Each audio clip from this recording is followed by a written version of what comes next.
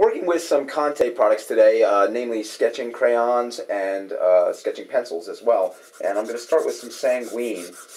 I like using these. They sort of remind me of really of my grad school days and college days. We certainly in figure drawing classes and beginning drawing classes, we just used so many drawing products, and Conté was always one that was present. Um, and I'm just blocking in big areas with the sanguine. It's nice, it moves very easily across the paper. You can fill in big areas. It's got these, uh, you know, it comes in a square, uh, this, this four sides here, and I can just really block in big, big areas. And it's kind of one of the things I always learned, and, and when I taught drawing as well, was the idea of working sort of general to specific. Um, so I'm making big general marks here, just getting big ideas stated.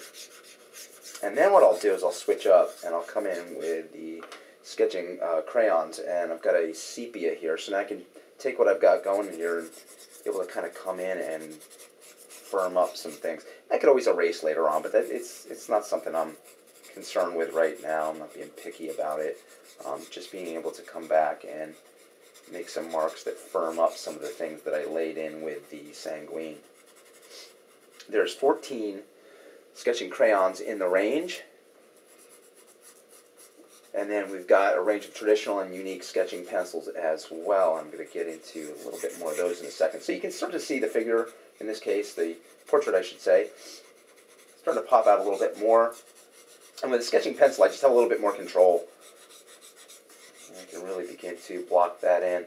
Then I like to go in here with, actually I'm going to pick up the white. I come back in with that, I can also blend right in here too. So if I want to get softer things going on, or if I want to come back in maybe with the sepia over here,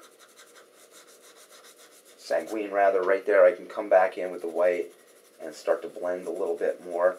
And if I want to get into something quite unique to the Conté range, which is the Pierre Noir, it really gives you a deep, dark, almost like a velvety black. And I can come back in here now and We'll state the eyes a little bit more. We'll make them looking over to the side, let's say. So this really, look how that pops out from everything else.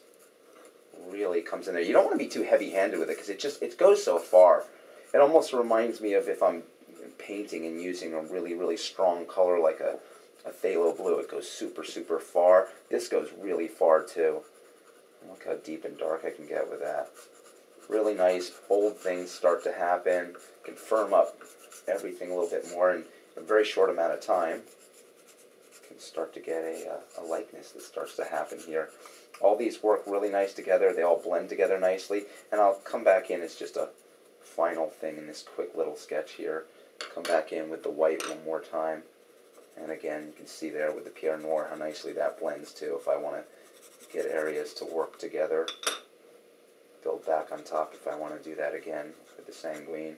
And I can keep going and keep going and utilize all these things to really come up with a beautiful drawing in the end, uh, given more time.